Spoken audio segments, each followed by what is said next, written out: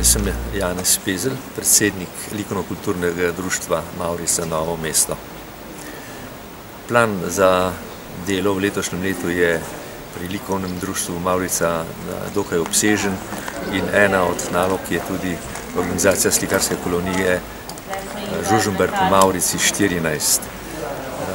Danes je prijavilo približno 20 slikarjev in slikark iz Slovenije. V glavnem so seveda to domačini, in v sodelovanju s turističnim društvom eh, Suha krajina bomo pripravili kolonijo in potem še spremljajoči program. Danes bomo cel dan v glavnem ustvarjali. Eh, popovdne bo eh, otvoritev razstave, otvoril bo župan gospod Franc Škufca.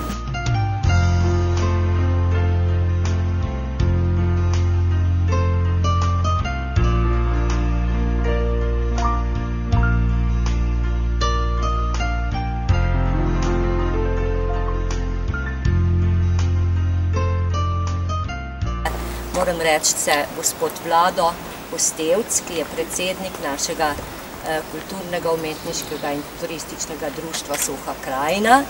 V njegovem imenu vas zdaj tudi lepo pozdravljam.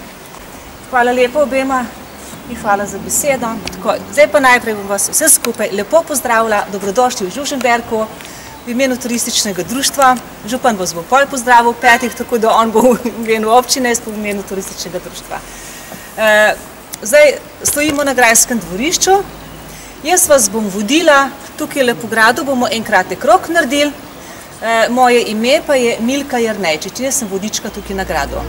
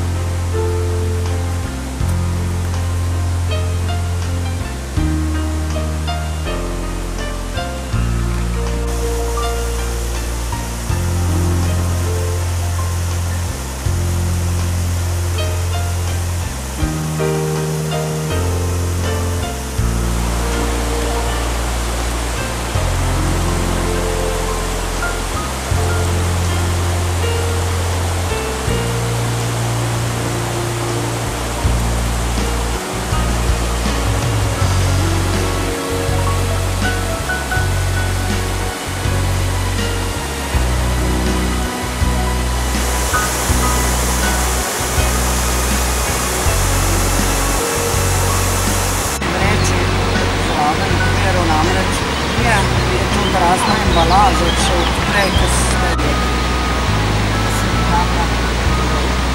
A ja, ja. Ja, gledaj, da so pa slabi videli.